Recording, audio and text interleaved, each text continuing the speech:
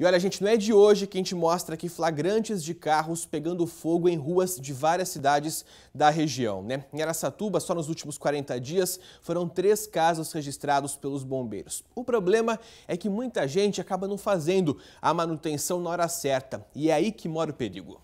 Uma pessoa passa pela Rua dos Fundadores e registra o carro em chamas. O motorista, desesperado, tenta apagar o fogo. O incêndio teria sido provocado por uma falha mecânica. Cenas assim parecem ter se tornado comuns em Araçatuba, bairro Panorama, Ipanema, Centro. Nos últimos 40 dias, pelo menos três carros pegaram fogo nas ruas de Araçatuba, de acordo com os bombeiros. As histórias são sempre parecidas. O automóvel está em movimento quando o motorista percebe fumaça ou saindo do capô ou por debaixo do painel dentro do automóvel. Em poucos minutos, o incêndio se alastra e o carro é destruído. Mas o que provoca tantos incêndios? Como evitá-los? Para este instrutor de mecânica, o segredo está na manutenção do veículo. Se não faz a manutenção, né, o veículo ele possui um sistema de alimentação de combustível. Tá? Esse sistema trabalha pressurizado. Com o tempo, as mangueiras, tubulação envelhece, aí ressecando pode vir dar vazamento. Esse vazamento em contato com o sistema de ignição é onde gera a, a, combustão aí, a queima. A hora que fecha um curto, eu vou aplicar direto, mas é quase o que acontece no veículo. Vai perceber a fumaça primeiro, né?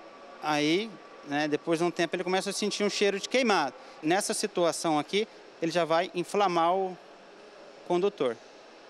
E bastou isso num carpete, um contato com o carpete? É, porque a tendência, após esse estágio, é a chama o fio fica incandescente. Se, for, se o fio for um pouco mais fino que esse, a combustão é instantânea. Mas diante de um princípio de incêndio, como o condutor deve agir?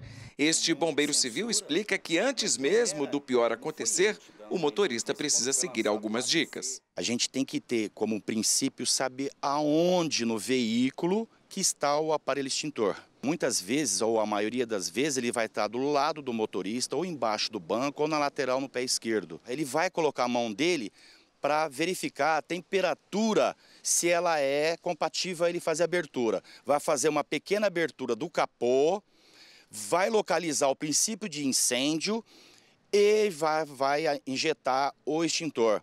Tomando muito cuidado que o oxigênio vai dar vida à chama ele vai descarregar todo o aparelho extintor no veículo. Só que o extintor de 1 kg ele é dimensionado para um carro desse tamanho não para um incêndio. Isso aí já é corpo de bombeiro que vai fazer o combate ao incêndio. Aqui é princípio de incêndio, para onde foi dimensionado esse tipo de aparelho extintor veicular.